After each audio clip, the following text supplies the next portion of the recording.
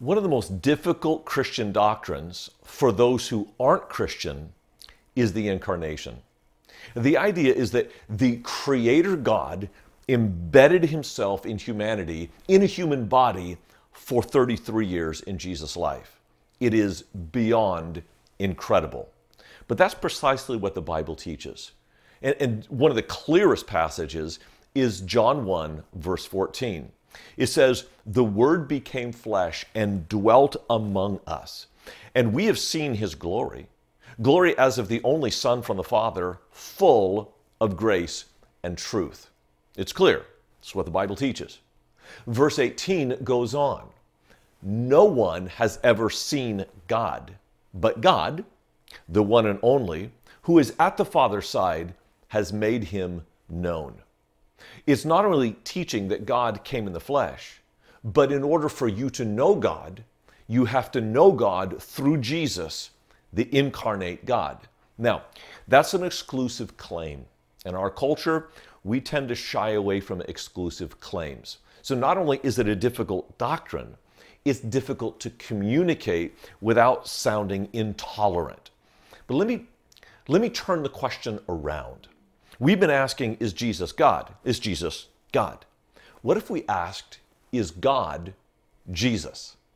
In, in other words, are there things that we believe about God because we have seen Jesus?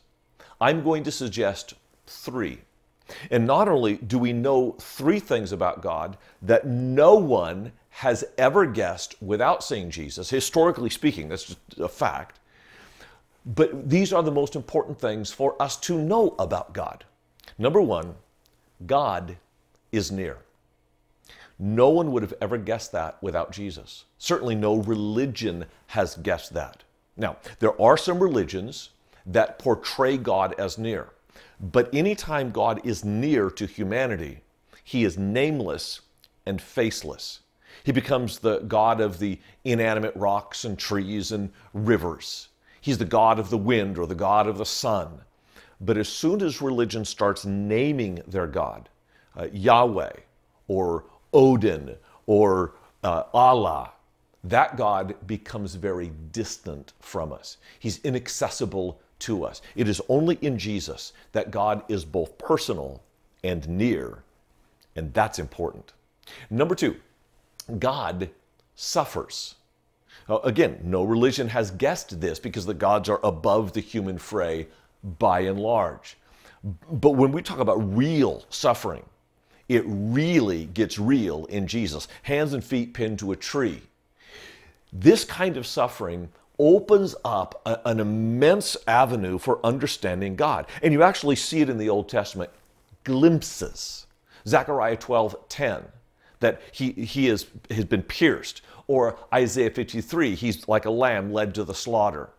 The Jewish rabbis had great difficulty with these passages precisely because they could not imagine God suffering. But here's where it gets really inspirational to me. You know why God suffers?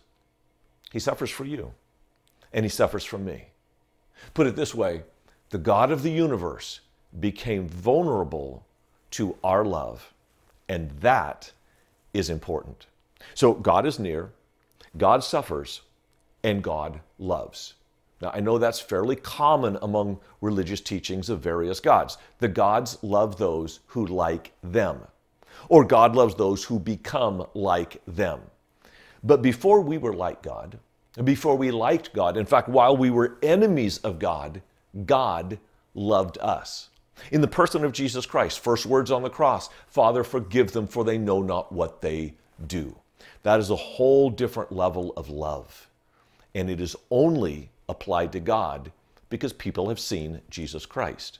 These three are immensely important concepts, and I don't think we would truly know God had we not seen Jesus model these three things that He's near, that He loves, that He suffers. But is more important than just a theological tenet. It's not just an abstract idea. Listen, the incarnation is not merely a doctrine, it is the methodology for living life. It's not what, just what Jesus did for us, it's what he modeled for us to do for others. And if you want to be a good leader, a good coach, a good father, these three attributes that are manifest in Jesus Christ are the same attributes that will make you a good father, that you're near, that you sacrifice, and that you love the other even when they're unlovely. It will make you a better husband, a better boss, a better coach. The incarnation is not just a doctrine, it's a way of life.